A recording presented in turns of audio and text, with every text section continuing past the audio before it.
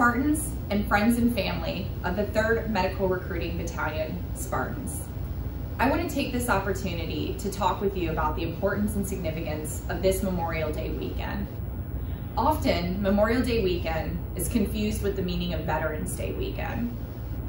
This weekend, on Memorial Day, it is our time to pause, reflect, honor, and remember the ultimate sacrifice that our brothers and sisters in arms have made to defend the freedom and the liberties that our great country gets to enjoy on a day-to-day -day basis.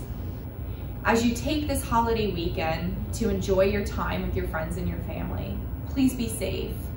But more importantly, take a moment, have your moment of silence, reflect, share with your children, your friends, your significant others, the true meaning of Memorial Day what the ultimate sacrifice was paid to afford us Americans a chance to celebrate this holiday.